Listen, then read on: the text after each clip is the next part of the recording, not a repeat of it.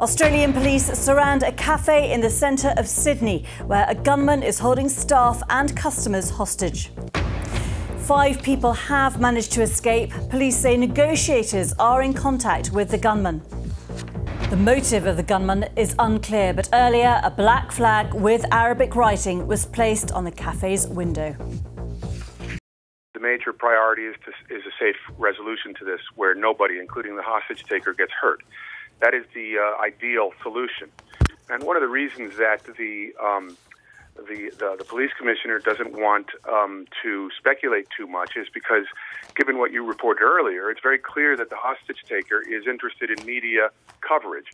And uh, one of the major things that we want to do as hostage negotiators is control the flow of information in and out of the siege location. Um, so uh, if other people are calling in or if the media is complicating things, it could really uh, make it very difficult for the negotiators to do their job and to try to reach a safe outcome. We've been seeing some pictures there of some of the hostages who have been released.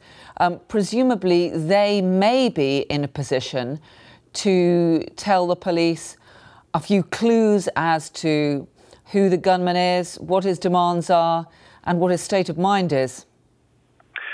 That's right, but uh, you can't really uh, rely on that very much because it's unclear. well, at least from my understanding, it's unclear how long they were held. So, how long did they have to uh, gather any of this information?